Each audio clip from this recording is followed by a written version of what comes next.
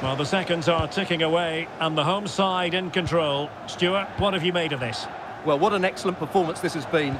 They've had complete control for most of the game. Their move... And he scored not once, but twice. They simply cannot stop him, and no wonder he's enjoying himself.